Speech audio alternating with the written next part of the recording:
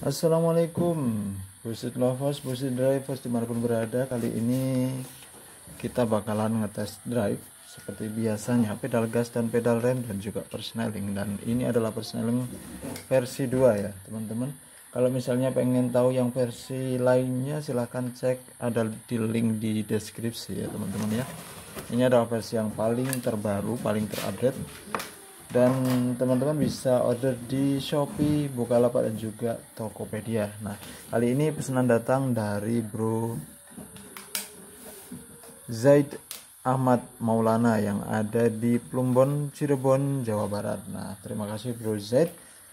Kali ini kita bakalan tes drive dulu sebelum nanti kita packing uh, untuk memastikan bahwa semuanya berfungsi dengan normal. Oke bro Z nanti silahkan ketika mau setting silahkan buka octopus seperti biasa.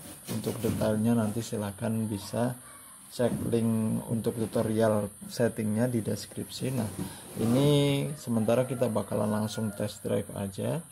Kita tes cek tombolnya satu persatu untuk memastikan semuanya berfungsi dengan normal.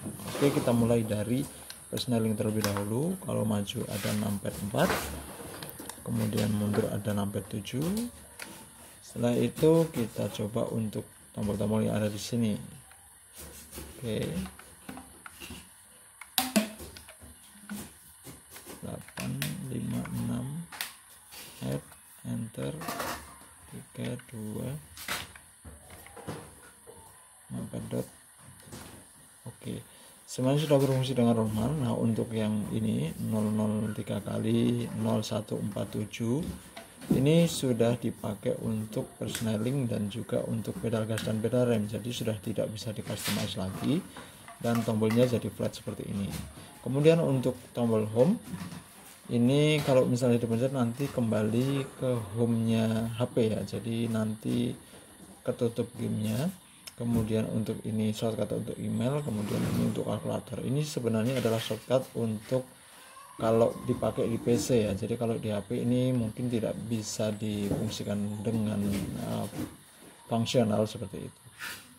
Oke lanjut kita bakalan cek untuk pedal gas dan pedal remnya. Dan langsung kita tes di pedal gasnya aja. Oke nampet 0 muncul untuk pedal gas dan kemudian nompet satu untuk pedal rem. Oke kita centang. Setelah itu kita coba.